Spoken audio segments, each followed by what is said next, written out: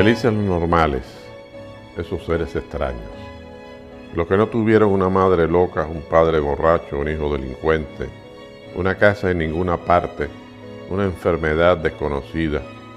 Los que no han sido calcinados por un amor devorante, los que vivieron los 17 rostros de la sonrisa y un poco más, los llenos de zapatos, los arcángeles con sombreros, los satisfechos, los gordos, los lindos, los rintintín y sus secuaces, los que, como no, por aquí, los que ganan, los que son queridos hasta la empuñadura, los flautistas acompañados por ratones, los vendedores y sus compradores, los caballeros ligeramente sobrehumanos, los hombres vestidos de truenos y las mujeres de relámpagos, los delicados, los sensatos, los finos, los amables, los dulces, los comestibles y los bebestibles.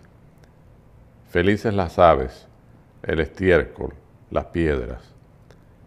Pero que den paso a los que hacen los mundos y los sueños, las ilusiones, las sinfonías, las palabras que nos desbaratan y nos construyen, los más locos que sus madres, los más borrachos que sus padres y más delincuentes que sus hijos y más devorados por amores calcinantes. Que le dejen su sitio en el infierno.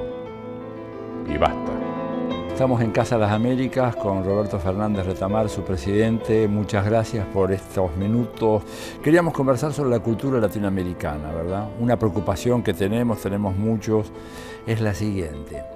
¿Cómo se encuentra hoy la cultura latinoamericana, pensando un poco en una reflexión eh, tuya sobre qué significa hoy ser latinoamericano? ¿Qué, ¿Qué significa eso hoy en un mundo donde las corrientes de la globalización y los fenómenos de hibridación cultural parecerían estar corroyendo todas las culturas del mundo. ¿Qué nos está pasando acá en América Latina? Sí, bueno, yo creo que hay un grupo de representantes de esa cultura que aceptan esa corrosión, pero el, núcleo fundamental no la acepta, lo que no quiere decir, naturalmente, encerrarnos eh, en nosotros mismos, que sería, que sería absurdo, ¿no? Pero existe, existe un, ser latinoamericano que, eh, cuya defensa implica la defensa de la riqueza misma de la humanidad. Frente a este fenómeno que uno llama globalización, franceses prefieren llamar mundialización, etc., eh, se, ha, se ha ido produciendo, se viene produciendo muy lógicamente una actitud de rechazo, subrayando los caracteres específicamente nuestros, sin por eso abandonar el vínculo profundo con el resto de la humanidad. Tú sabes que en Cuba nosotros tenemos una devoción particular por José Martí y cada vez que podemos lo citamos. Y Martí ha, dicho sobre esto cosas muy, muy profundas una y otra vez. Ha dicho, por ejemplo, injértese en nuestras repúblicas el mundo, pero que el tronco sea el de nuestras repúblicas ha dicho también patria, es humanidad. Yo creo que estos son eh, divisas irrenunciables para nosotros. ¿no? Es decir, que la defensa de, nuestra identidad no implica naturalmente encerrarnos eh, grotescamente en nosotros, sino por el contrario, defender esa humanidad que está también en nuestra patria, por así decirlo. El Pacífico arroja sus olas reiteradas contra las enormes piedras grises a cuyo borde yacen Matilde y Pablo Neruda. Silencioso, entre amigos, contemplo el impaciente océano frente al cual se escribieron tantos versos que luego llevaron por el mundo alegrías y penas, imprecaciones, grandezas y miserias y destellos. Al regreso de Isla Negra, visitamos en un pequeño alcor de Cartagena, el solitario túmulo donde Vicente Huidobro llegó al final del último camino. Pensé en aquella mañana de 1955, cuando en Mogush fuimos a llevar una flor a la tumba de Vallejo. Delia Domínguez nos pide que recemos un Padre Nuestro. No lo hacía desde los exaltados días perdidos de Nicaragua. Las palabras no coinciden algo ha variado de traducción en traducción, de tiempo en tiempo. Una lápida anuncia en grandes letras, abrid la tumba, al fondo de esta tumba está el mar. Por debajo de hojas, de querellas, de injurias que el viento dispersó, el mismo mar resuena en lo oscuro de las tumbas. Cuando uno analiza comparativamente la historia ¿verdad? de los países y las regiones del tercer mundo, llega a una conclusión muy preocupante, y es que América Latina es de todo el mundo la región que ha tenido una más prolongada experiencia colonial. Ningún otro país, ¿verdad?, ha tenido tres siglos y medio, casi cuatro siglos en el caso de Cuba, ¿verdad?, donde estamos hoy, de experiencia de dominación colonial. La dominación colonial en África fue más breve y además mucho más periférica, no penetró profundamente en la estructura de las sociedades africanas, como tampoco lo fue, por ejemplo, la dominación británica en la India, que se superpuso a una estructura que permaneció prácticamente intangible. En América Latina, en cambio, se funda una sociedad de nuevo tipo, ¿verdad? Y eso entonces plantea dudas acerca de nuestra identidad cultural, qué es lo que somos, somos occidente o no somos occidentes, somos tercer mundo o somos el patio trasero de Europa o ahora de los Estados Unidos. Entonces la preocupación es que en esta fase de mundialización, como decías tú muy bien, de repente los rasgos de la identidad cultural latinoamericana puedan verse irremisiblemente afectados. Tú no eres tan pesimista, probablemente. No, no, no, soy absoluto. Es más, eh, he polemizado eh, contra la idea de que precisamente por la antigüedad de nuestra realidad colonial y en consecuencia de nuestras luchas anticolonialistas, que nosotros de alguna manera eh, eh, no formamos parte de este proyecto que algunos llaman postcolonial y que ha sido elaborado sobre todo en el mundo anglosajón a partir de experiencias como las experiencias de la India, por ejemplo. Entonces me, parece eh, verdaderamente paradójico que por el hecho de que tengamos más tiempo de haber padecido la colonización y por lo tanto más tiempo de impugnarla, se suponga que nosotros no tenemos nada que ver con la lucha anticolonial. Yo creo que por el contrario, que es en algunos aspectos arquetípica de la lucha anticolonial la expresión, la realidad latinoamericana. Claro, podemos remontarnos mm, a la llegada de los europeos a 1492, que es realmente una fecha capital aunque en forma alguna se le pueda llamar, como se hace a veces erróneamente, descubrimiento. No, hubo tal descubrimiento, pero sí hubo la llegada, la segunda llegada de los europeos a este continente. La primera, la de los vikingos, no tuvo trascendencia porque no eran portadores de una nueva, de una nueva realidad social, pero sí lo eran los europeos que por segunda vez llegaron aquí. Podemos remontarnos a ese momento y a las luchas que entonces ya comenzaron los indígenas, eh, los mal llamados indios, pues esta no era la India, pero en fin, se nos llamó la, India o las Indias, eh, los, indios combatiendo contra eh, los, invasores, los esclavos de origen africano trasladados masivamente luchando contra sus opresores. Después cuando se va desarrollando una sociedad criolla, una sociedad criolla, esa sociedad criolla eh, eh, sumándose de alguna manera también a esas, a esas luchas. Humboldt eh, llamaba la atención sobre cómo a finales del siglo XVIII había un énfasis muy grande en esas sociedades criollas en llamarse americanos. Ya no querían llamarse europeos de ultramar, sino, sino americanos. Y desde luego las grandes, eh, las grandes luchas por la independencia, que son tan, tan poderosas, tan fructíferas y que todavía nos están alimentando hoy en día.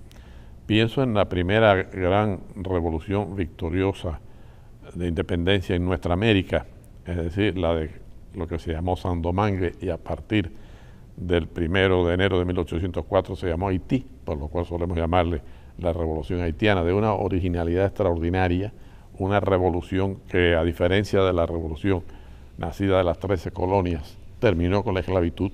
Es decir, no solo fue una revolución política, sino una revolución social, lo que no ocurrió en el caso de las 13 colonias. Y pienso en la multitud de, de revoluciones independentistas en nuestra América, algunas muy radicales, la de Haití desde luego es tan radical que James ha podido llamarle a, a, los haitianos, los jacobinos negros, pero hay también actitudes muy radicales en el México de Hidalgo, por ejemplo, en el, en el Paraguay del doctor Francia, tan calumniado, pero un hombre por otra parte tan, tan singular. En Uruguay con, en Uruguay con Artigas, es singular, que ese, ese hombre genial, que sé que tú admiras mucho, como también lo admiro yo mucho como escritor, pero bueno, que fue Sarmiento en Facundo, le diga horrores tanto a Francia como a Artigas, porque representaban para él la barbarie. Eh, no era la barbarie lo que estaban ellos eh, propugnando, como tampoco era, es la, era la barbarie lo que estaban propugnando los revolucionarios haitianos, era la autoctonía, la, la, identidad, la realidad nuestra, no el ser precisamente el, el, el traspatio de una cultura occidental. Yo he escrito varias veces sobre este, esta relación nuestra con Occidente, incluso tengo un largo trabajo, Nuestra América y Occidente. Bueno, sería eh, eh, eh, absurdo negar los vínculos que hemos tenido y tenemos con Occidente. Para mí Occidente no es más que otro nombre del capitalismo. Nos ahorramos muchos malentendidos si partimos de este hecho. Bueno, nosotros nacemos, nosotros, la América actual, nace de ese impacto de 1492, pero también nace Occidente de ese impacto. Es decir, es un nacimiento mutuo, el nacimiento de, nuestra América, para utilizar la expresión martiana, y el nacimiento de Occidente. Extraño, más extraño. Toco en la oscuridad la cicatriz de América. Pongo la mano ardiente en el sur volcánico y húmedo, de donde salimos sangrando con otras lágrimas. Esa hermosura dolorosa es el ojo de mis tierras y su sombra de fuego me estremece. Quédate, descubierta, no te vayas. Abandonado, ebrio, tiemblo en país extraño, más extraño. Y hay un dato interesante cuando uno mira la historia latinoamericana, creo que estás totalmente en lo cierto al hacer esta, este regreso a estos antecedentes de carácter histórico. ¿verdad? Que sorprende que, por ejemplo, Bolívar eh, muy tempranamente haya detectado el peligro que representaba los Estados Unidos para América Latina. Esa frase maravillosa cuando Bolívar decía, los Estados Unidos parecen eh, destinados por la providencia a plagar a América de miserias en nombre de la libertad. Una frase que se dice casi en coincidencia con la enunciación de la doctrina Monroe en 1823. Sí, pero es curioso porque antes había hablado Jefferson que es un caso también mutatis mutandis, como el de, como Sarmiento, es decir, un hombre genial, sería pueril negarle la dimensión a Jefferson. Para nosotros, sin embargo, es fatal, porque Jefferson se planteó desde el primer momento al diseñar lo que iban a hacer y lo que finalmente fueron los Estados Unidos, pues al hacer ese diseño, insistió en que Cuba tenía que formar parte de, los Estados Unidos. Y, y él hablaba Jefferson de un imperio para la libertad, un oxímoron, un verdadero oxímoron, pero un oxímoron extraordinariamente elocuente. Eso es lo que los Estados Unidos desde entonces hasta hoy ya se están planteando y se van a plantear hasta nuestros días, un imperio para la libertad. Hoy en día, lo hemos conversado en varias ocasiones, la palabra imperialismo que había caído de alguna manera en desuso, se decía ya no hay imperialismo, ahora resulta que sí, que los propios imperialistas proclaman, proclaman, retomando sin saberlo posiblemente, esa observación aguda y terrible de Jefferson, el imperio para la libertad. Eh, vuelven a ser el elogio del imperio. Ahora, ¿sería correcto decir que desde el momento en que Bolívar pronuncia aquella frase premonitoria hasta Martí, a finales del siglo XIX, prácticamente hay un enorme vacío en la reflexión sobre el imperio, la colonia, el colonialismo en América Latina, con algunas puntuales excepciones. Bueno, es que entre esas excepciones algunas son muy fuertes, muy grandes. Yo pienso en el caso de Francisco Bilbao, el chileno. Yo creo que eh, es un, es un eslabón intermedio entre Bolívar y Martí de una fuerza verdaderamente enorme. Él vio claramente eh, lo que llamó en un libro La América en peligro. Pensaba pensaba sobre todo en ese momento, claro, en la invasión a México de, fuerzas eh, europeas que finalmente encarnaron en el imperio de Maximiliano. Yo creo que Bolívar es desde luego, como Martí le llamó, hombre solar. Es imprescindible partir de Bolívar, de la claridad con que Bolívar vio estas cosas. Una claridad sorprendente, porque era muy temprano, esa famosa frase de él, una carta, la, en la carta a un amigo, donde habla de, de, lo que tú acabas de decir, y en general su visión de lo que somos nosotros, no solo en relación con los Estados Unidos entonces apenas emergentes, sino con respecto a nosotros mismos. Llegó a decir somos un pequeño género humano, dice Bolívar, ¿no? No pertenecemos ni a esta ni a aquella entidad, somos una entidad en nosotros mismos. Es curioso que un, se ha negado durante mucho tiempo la existencia de una civilización latinoamericana, pero es curioso que en un libro tan malo, de un autor tan malo como, el, como es Samuel P. Huntington, en su deplorable libro El choque de civilizaciones, que entre otras cosas es una versión aguada de, Spengler, etc. Sin embargo, él reconoce que una de las civilizaciones existentes es la civilización latinoamericana. Una de las únicas ocho que él reconoce. Sí, reconoce, es una cosa, es una cosa verdaderamente sorprendente. Claro, él, él dice, no le falta razón, que es una civilización heredera de la civilización occidental. Eso no vamos a negarlo, porque estamos, estamos hablando español, ¿no? y estamos valiéndonos de, un pensamiento en gran medida elaborado por pensadores occidentales, aunque fueran pensadores hostiles al, capitalismo. Yo sé que no, no, cuento, digamos, con, una coincidencia tan grande como yo quisiera cuando homologo Occidente al capitalismo. Pero yo insisto en este punto porque es muy importante realmente. Eso es lo que hace que nosotros en América Latina tengamos evidentes relaciones con Occidente y evidentes contradicciones con Occidente. Decía Mariate mucho tiempo después que eh, el porvenir eh, a los Estados Unidos le correspondía cerrar la civilización capitalista, culminar, como ha ocurrido, la civilización capitalista. Y a, a nuestra América, le llamaba América Latina, Indoamérica, no recuerdo la expresión exacta, le, correspondía, por el contrario, abrirse hacia el socialismo, como una forma de liberación, como una forma de obtención de una verdadera independencia. Hay pues, y hemos mencionado autores, los haitianos, Bolívar, Bilbao, naturalmente Martí, Mariate, y podemos seguir hasta nuestros días, hay un pensamiento latinoamericano articulado que nos, al que nosotros debemos remitirnos constantemente para entendernos a nosotros mismos.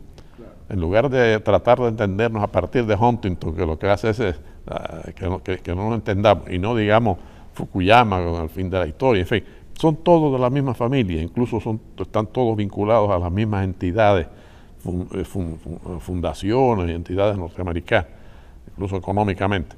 Eh, eh, en lugar de remitirnos a esos pensadores extraños, remitirnos a nuestra tradición y hacer ver incluso a aquellos que piensan que no existe una tradición de lucha anticolonial en nuestra América, que es todo lo contrario, que tenemos una rica tradición de lucha anticolonial en nuestra América que se remonta al comienzo de la llegada de los europeos a América y que llega a nuestros días. Solo existe de veras quien dialoga y rostro a rostro con el gran aire, en jadeo con las cosas totales, les va sacando voces letras que con dura piedra negaban.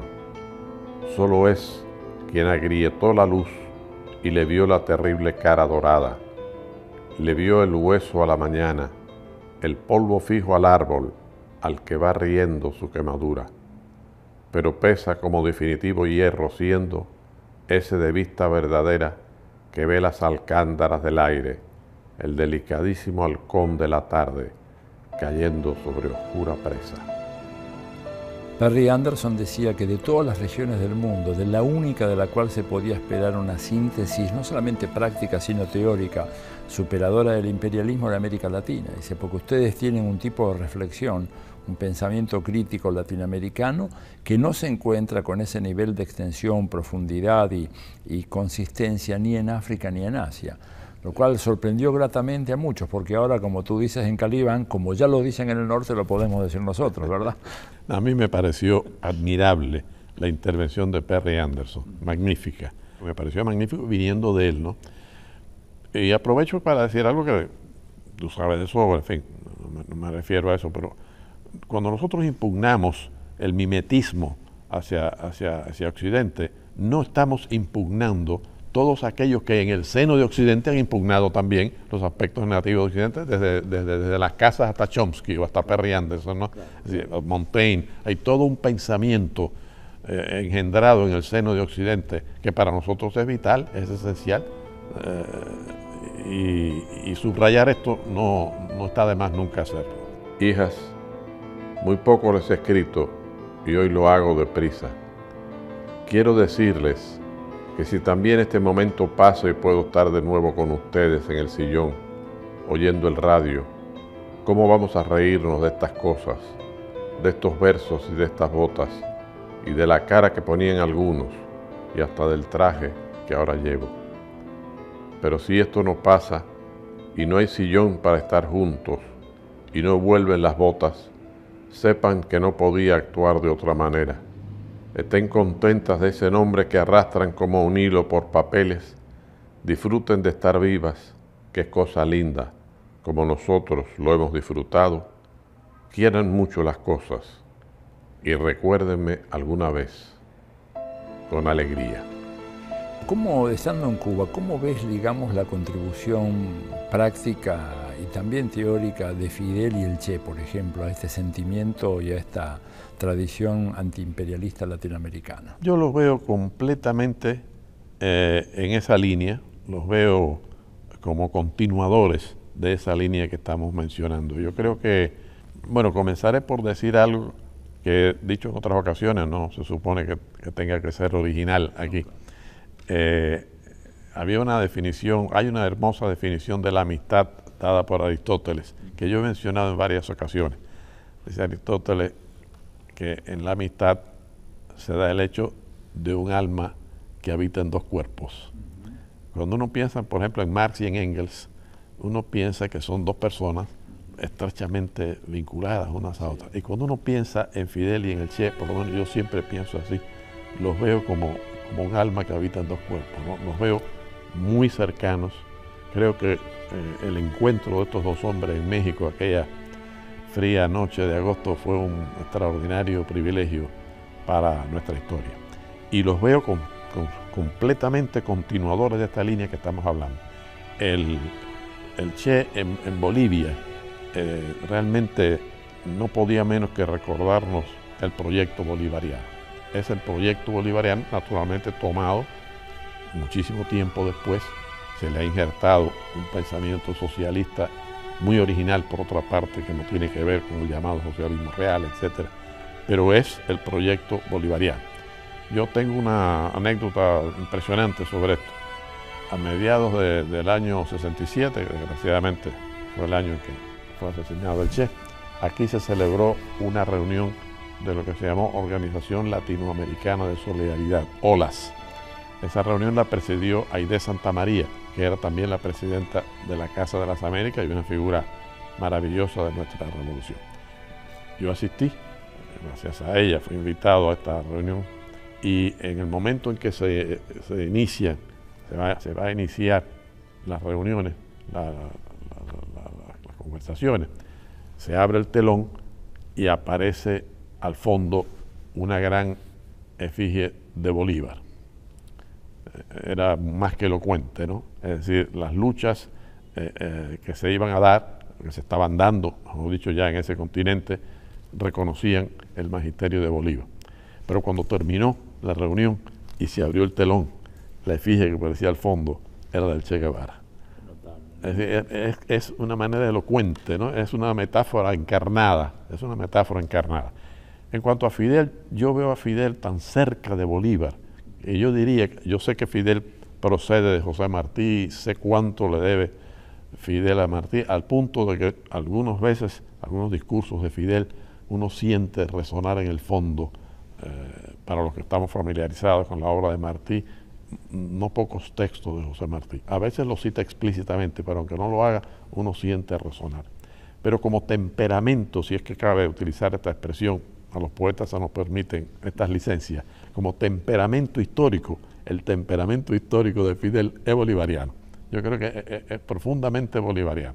Yo, veo muchos parecidos entre Bolívar y, Fidel. Y, volviendo a la cuestión de las ideas que estábamos hablando, no cabe la menor duda de que Fidel y el Che representan esa línea, continúan y enriquecen esa línea. Es singular que al producirse un proceso renovador eh, eh, de, voluntad popular eh, en Venezuela, ese proceso se llame a sí mismo bolivariano. Yo creo que las figuras de nuestro pasado no han pasado. Como, en los versos de Guillén, el pasado, pasado, no ha pasado. La nueva vida espera nueva vida. Y así nosotros nos remitimos a Martí, los venezolanos se remiten a Bolívar, los ah, nicaragüenses se remiten a Sandino, es decir, siguen vivas estas presencias entre nosotros.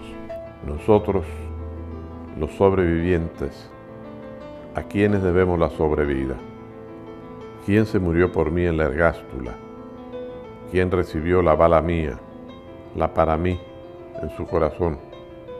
¿Sobre qué muerto estoy yo vivo, sus huesos quedando en los míos, los ojos que le arrancaron, viendo por la mirada de mi cara, y la mano que no es su mano, que no es ya tampoco la mía, escribiendo palabras rotas donde él no está, en la sobrevida. Un rasgo que a veces es un poco preocupante y es una cierta vulnerabilidad en la cultura latinoamericana a las modas intelectuales o estéticas procedentes del mundo desarrollado. Eso habla, digamos, por una parte de nuestra apertura. Creo que vos mismo decías en conversaciones anteriores, no sé si en referencia a este tema o a Martí, de que estamos obligados a ser universales, ¿verdad? De que nuestra condición periférica nos obliga a ser mucho más universales que los pensadores europeos y americanos, que son esencialmente europeos o norteamericanos. Nosotros no. Tenemos que ser universales por fuerza para salir de nuestra condición periférica. Sin embargo, eso tiene su reverso. El reverso es tal vez la excesiva exposición o fragilidad o indefensión ante modas intelectuales. Estoy pensando, por ejemplo, lo que, ha, lo que ha ocurrido en el pensamiento de izquierda latinoamericano, como hemos sido eh, influidos por el estructuralismo francés, después por el posmodernismo, ¿Crees que estamos tal vez superando un poco esa fase, que hay una mayor decantación cultural, ideológica, que nos permite ser universales sin caer postrados ante las elaboraciones del norte? Sí, yo creo que el, colonialismo no es solo un hecho obviamente económico y político, también es un hecho intelectual y esto que tú me estás hablando y que hemos visto con tanto desagrado repetirse una y otra vez, es una manifestación de colonialismo intelectual, como es natural. Yo no quiero pecar de optimista a ultranza, pero sobre todo en los últimos tiempos yo veo eh, una sana ah, reacción, una, actitud de, incorporar lo que hay que incorporar de, fuera, y luego Occidente es un fuera importante para nosotros, pero hacerlo nuestro, hacerlo nuestro, por eso había citado la frase de Martí, injertes en nuestra república, es el mundo, pero el tronco ha de ser de nuestra república. Bueno, me, vas a perdonar que te utilice a ti como, como ejemplo, pero para mí fue una lectura sumamente grata. Después de haber leído Imperio, el libro de Hart y Negri, libro que me desazonó mucho cuando lo leí, empecé a leerlo con mucho entusiasmo y a medida que lo leía me iba preocupando mucho y cuando conocí el texto tuyo en que replicas a este libro que tan famoso se hizo, que se citaba en todas partes, que era el libro que había que leer, el que no había leído Imperio no podía realmente conversar normalmente. Me dio mucha alegría ver tu, tu, tu respuesta, mucho más que una respuesta, como tú retomas lo fundamental de una tradición revolucionaria irrenunciable, al mismo tiempo la pones al día. Es decir, no te estás refiriendo solamente al Lenin de 1917. Sabemos que ha pasado mucho tiempo y muchas cosas y tienen que ser tomadas en consideración. Francamente, al actuar así, eh, lo que hacías era eh, eh, sencillamente subrayar tu pertenencia a esa línea anticolonialista tan fuerte en nuestra América y en la que tenemos que insistir constantemente repito, sin que demos la impresión de que hemos inventado el agua tibia, ¿no? Es, evidente, por ejemplo, evidente que hay una cantidad inmensa de cosas que nosotros vamos a seguir recibiendo desde fuera, porque, porque, porque patria es humanidad, así lo pensamos verdaderamente. La oigo encanecer, y sin embargo las palabras reverdecen en ella contra lo oscuro, contra la enfermedad, contra la descreencia, contra la lasitud. Toda la noche esplende como un palacio iluminado, cuando su voz llena el aire de peripecias que trajo al mundo, este pobre mundo que alguien trajo a su vez y ahora está detenido en la inmensidad sobre la cabecita de una dulce niña que encanece, mientras la escuchamos con un amor sin bordes, similar a la tan difícil pero irrenunciable esperanza. América Latina vivió bajo el influjo de la cultura europea, ¿no es cierto?, mucho tiempo, en algunos países más, en otros menos. En el sur de América Latina eso fue muy fuerte, en el Caribe un poco menos, pero igual, ¿verdad? Pero esa, esa influencia parecía restringirse a niveles de una élite cultural o social. La influencia americana de hoy, la influencia de los Estados Unidos de hoy parece ser mucho más profunda si bien es superficial, profunda en el sentido que cala mucho más hondo, ¿verdad?, en las sociedades latinoamericanas, superficial porque no es la misma influencia que se deriva de antes de Europa. ¿Cómo, ves eso? ¿Puede de alguna manera esto tener un efecto muy fuerte, eh, diferente al que tuvo la experiencia del, influjo europeo? Este? Bueno, el influjo europeo para nosotros eh, fue ambiguo, porque por ejemplo en Cuba, colonia española, la alternativa de la cultura francesa era muchas veces recibida desde un punto de vista positivo, podríamos decir. Hay que decir que incluso eso era válido para algunos aspectos de los propios Estados Unidos en el siglo XIX. Aquí, por ejemplo, eh, se, establece como deporte nacional el béisbol, que es un deporte nacido en los Estados Unidos. Y curiosamente era una manera de impugnar las tradiciones españolas que se veían como eh, como lo que eran, ¿no? Metropolitanas, colonialistas. Aquí había incluso publicaciones mm, refinadas que decía revista de literatura y béisbol. Es decir, er, era realmente una curiosísima manera de impugnar. Hoy en día, desde luego, la presencia de los Estados Unidos es abrumadora en el mundo entero. Y te voy a contar, para terminar, una anécdota. En el año 55, mi esposo y yo fuimos a París a estudiar con la ilusión. París era entonces una ciudad de mucho más peso intelectual que lo es ahora. Incluso, incluso Francia estaba bastante hegemonizada por la izquierda desde el punto de vista cultural, yo diría. Y estábamos paseando por el Boulevard Saint-Michel y nos encontramos con un restaurante que se llamaba La Source, self-service. yo me aterré, es el año 55, pensemos, o sea, no existía revolución cubana, faltaban cuatro años para la revolución cubana, faltaba tiempo incluso para que Fidel desembarcara en Cuba, de manera que no estaba yo influido por lo que no existía entonces. Sin embargo, cuando yo vi aquello, yo me horroricé y le dije a mis amigos franceses, estamos perdidos, ya llegaron aquí. Y entonces mis amigos franceses me dijeron, eres un paranoico, ustedes siempre están con esa obsesión, no, esto no es nada, bueno, hoy en día es tremendo. Yo me he paseado por el barrio latino viendo McDonald's y viendo cosas verdaderamente pavorosas. ¿no? Realmente la, la, la presencia de los Estados Unidos en el mundo entero, ya no en, no en América Latina, ya no en el Caribe, etcétera, eh, es una cosa devastadora y, y, se ha acabado por confundir con la modernidad. Hay un texto de Michel Leris muy impresionante donde él dice abiertamente, la modernidad se ha convertido en mierdonidad. Bueno, luchemos contra la mierdonidad. Echan abajo muros que nunca debieron existir y levantan o refuerzan otros que no deben existir tampoco y un día serán a su vez abajados con estruendo. Avanzan tanques en la sombra, derriban estatuas de gallardos combatientes cuyas imágenes verdaderas fueron erigidas para siempre en el alma desaparecen o aparecen o se desgarran países y otros son invadidos, mutilados, y hay lugares donde se celebra con fiestas de colores el crimen que denuncia una vocecita de niña sola entre altos cristales. Cambian de rumbo armas que ahora solo apuntan al sur. Y tú, príncipe, campeón, pirata, capitán, copo de plumas, robin por ahora de bosques de lino, tigre rojo en quien tras muchas décadas han reaparecido enlazados los nombres de los hijos mayores, de quienes se alegrarían tanto de saberlo si no fueran ya polvo en la sombra, sombra en el polvo.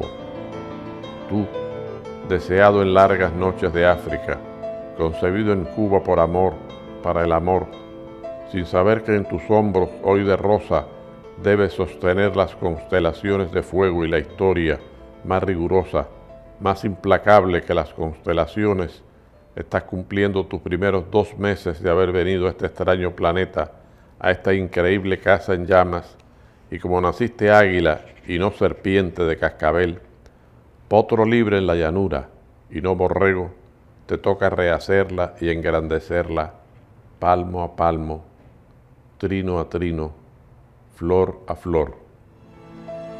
Perdónalos, perdónanos, perdóname, Focás.